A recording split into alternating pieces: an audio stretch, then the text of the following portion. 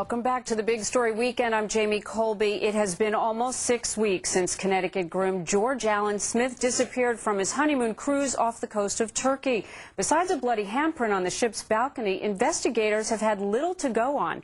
But now reported inconsistencies in the stories of three men who were partying with Smith in the ship's casino the night he disappeared may give authorities the break they need. And joining me now to tell us about it is New York Post reporter Brad Hamilton. Brad, this case has had less information released than any other I remember. What have you been able to find out? Well, certainly you're right about that. Uh, the authorities are looking into this angle uh, about these mysterious men, uh, young men, we believe 18, 19 year old, year old guys from Brooklyn, Russian guys, um, who were on the ship and were seen partying with the Smiths the night, uh, the night that he, he disappeared. And they're looking to find out what's going on with them we believe that it's possible that they may have had something to do with his disappearance. Why do you say that? Well, certainly the, um, the men, besides having something to do with George Smith that night, also got involved in an incident five days later. Now, this is after he's already disappeared. Uh, the ship has left Kusadasi, where they did a little investigation, and is now in Naples. And it turns out that they had some sort of uh, sexual escapade with another woman uh, on board and made a tape of it. The woman came forward and said she was raped, and the investigators got a hold of a, a, a, actually two different uh, videotapes of this uh, sexual threesome um, and uh, decided there was no rape, but they kicked off the family anyway. So the, this was a call by the ship's captain. Uh, he worked with a, local prosecutor in Naples, and um, they looked into the charges and determined that the woman had not been raped. It was a consensual act, but nevertheless they kicked this family off. And um, so there's another element there. Well, certainly a number of people that the police have talked to, that not only the investigators overseas, but also here in the States. Now the Connecticut DA has gotten in, or yes, from Connecticut, correct? That's where US, they were US from. Attorney, yes. Uh -huh, yes. What is he planning to do? Well, it's hard to say. I mean, the FBI has uh, said that they are in charge of the investigation. Uh, I believe that the Turkish officials may think differently, um, but certainly the FBI has done a lot of interviewing. And, um, you know, the, right now there's nothing for him to do other than to say, uh, we're looking into it and we believe we will get to the bottom of this matter. And one of the confusing things is because they were in international waters, uh, who is really in charge of the investigation? Joining me now is maritime attorney Chuck Lipcon. Uh, Chuck, what action has the cruise line taken since George Allen Smith's disappearance? Well, that you'll have to ask the cruise line. You know, I, I don't know. But I've been handling these cases for 30 years. And I can tell you normally what they do. Uh, typically, uh, they'll take statements, they'll send over an attorney to meet the ship, and all of that is being run by the risk management. And these are the people who are trying to protect the company in the event of a lawsuit. Well, how safe are you, Chuck, how safe are you on a cruise uh, from something like this? My understanding is that you have said that ship crime is not uncommon. What precautions are ships taking, and what should people be doing to protect themselves? Well, what I, what I found through uh, lawsuits is that that they admit to two uh, reported sexual assaults per month per ship. So to me, that's that's a lot of sexual assaults, and that doesn't cover other crimes. Uh, what can be done? Uh, a, number of things. I think they should have peepholes in the cabin doors. They should have uh, door chain locks. They should have cameras in the hallways so they see who is going into the passenger cabins. Many of the assaults that I've seen have occurred right in the passenger's own cabin. In this particular case, we're talking about something much worse, someone who's disappeared, possibly even being murdered.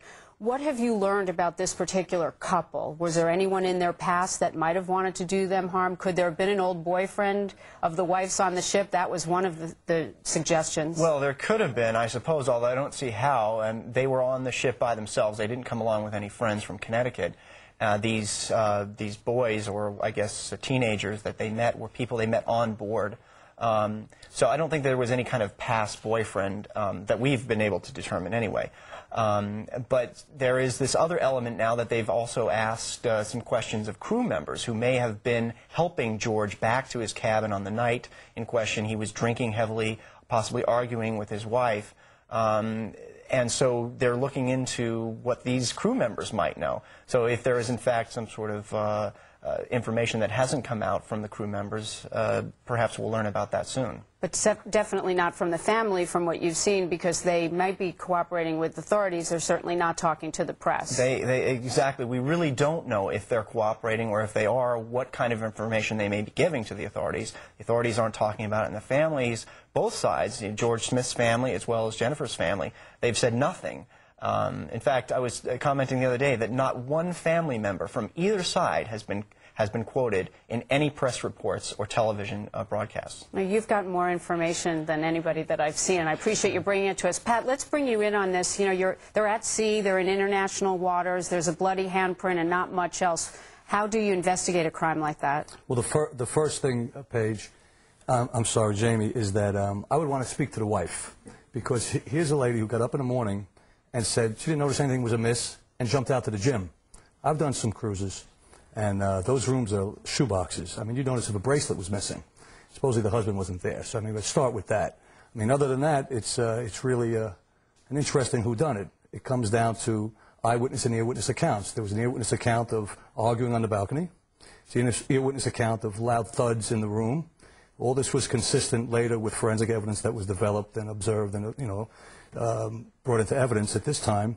But those 19-year-old Russian youths from Brooklyn have to be very closely interrogated.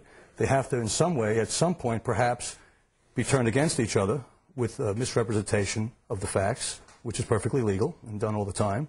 And this way, they can eventually get a chink in their armor, can break it out, and that's how it would start. And that would be backed up by some of the accounts that came to play already. And then the, the whole wife statement and perhaps her involvement, if any, or her lack of uh, candor in relative to the facts would have to certainly be plugged in. Well, Chuck, let me ask you a question in terms of the law. Who is entitled to question these uh, passengers, these young men that may know something? Is it the American authorities or only the Turkish authorities? Well, you have concurrent jurisdiction. You look, first you look to the flag of the vessel, which in this case is Bahamian. So they, they have uh, jurisdiction. FBI has jurisdiction over crimes by or against U.S. Uh, citizens or residents. Then you look to the waters that the ship is in. If the ship is in Greek waters or Turkish waters, then uh, then those governments uh, would would have jurisdiction. But, you know, I wanted to to add something. I, I've handled hundreds of cases against the cruise lines, and uh, this case fits a very typical pattern of where uh, uh, people are drugged with roofies, uh, sexual assaults occur. It happens right in their cabins, and uh, and and ultimately there are no prosecutions. I mean, I learned uh, in one lawsuit, I, I got some statistics from one cruise line that out of 173 reported sexual assaults, there were zero prosecutions. So I think this one is heading heading down that same path. But if this is a typical profile, something that you've seen on cruise lines, then who typically is responsible? Is it an employee of the ship, another guest? It used to be employees of the ship. The um, studies have been done by the cruise line industry where, where they learn that the crew members realize that they can rape passengers and that there are no consequences except perhaps they're fired. That's the only consequence to the crew members. And now, in the last few years, uh, I've seen a lot of uh, uh, assaults where passengers are assaulting other passengers. And I believe now the passengers have learned that they too can get away with these sexual assaults and nothing really happens to them. It's really shocking. All right, and in this particular case now, the investigation certainly moving forward, although not a lot of information coming from the family. Now the Connecticut uh, prosecutor, the DA, has gotten involved and will certainly continue to follow this case. It is a mystery uh, in the Mediterranean. Brad, Chuck, Pat, thank you to all of you for bringing us more information on it. Coming up, a guilty plea.